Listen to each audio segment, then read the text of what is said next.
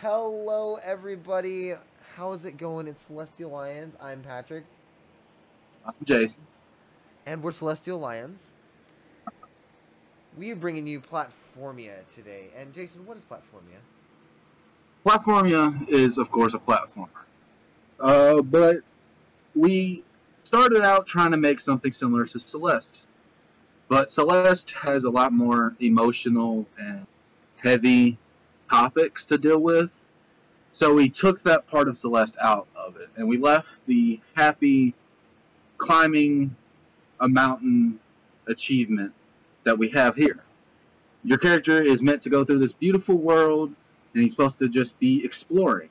He's trying to train to become a knight, and the world's just full of beautiful things that keep you relaxed. You shouldn't get too frustrated when you pick it up and put it down. You should just have a nice time playing it. So the gameplay is a little more than just leaping from platform to platform, as we stated. It's got a couple mechanics. We got a dash, a little nifty thing that keeps us from not making quite a far jump and missing the ledge. We also have what we know as boost orbs or rings. Get us to jump around and boost around, get us to new heights, as we like to call it. And last but not least, there are portals and curses. These uh, these are really interesting and change the gameplay in certain ways to make it more challenging. Not too much more challenging, but enough to give you a little thrill. So, what techniques and processes did work for you? Well, I actually was very comfortable with the scripting, connecting, making things work how they're supposed to work with the pins and nodes in Unreal. I was able to do that easily because I've been doing it for two years at this point. What about you, Patrick? What didn't work for you? What didn't work for me? Um, I would have to say some of the conflicts with using the 3D character as the 2D side scroll might be our biggest kind of because it's it's giving us a big issue with the actual player character. Other than that, I think the processes that did work was the fact that we kept solid communication, and as you said, the UI for coding in Unreal is just intuitive. So either way, I think the last thing on the note would be to list the skills that you've learned and found most useful. Yeah. Yeah. Okay. I would say communication. Uh, even though it's not like one of the main skills that we need as designers to actually design a game hard coding, it is something that we need as designers to succeed in our field.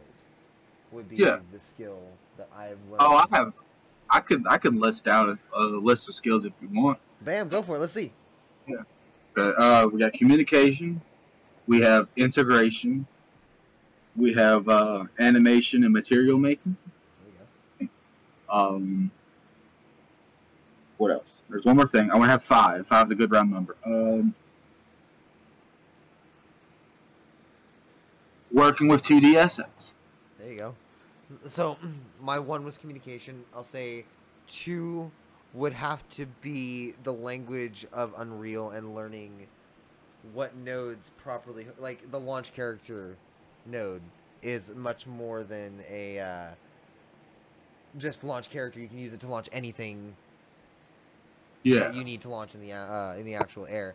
Um, the fall animation, which we didn't quite get to fully work, but it's there when it wants to work. Sometimes I've seen it like come through. The animations on that were really something that we picked up and started working with better as it went along, which you can see in the videos as we go along. The animation gets smoother for our run and stuff like that. And I would guess that the last one would have to be collaboration. The collaboration with our artist right now, uh, Tim, fantastic. We're, Yeah. we're loving the results that we're getting right here.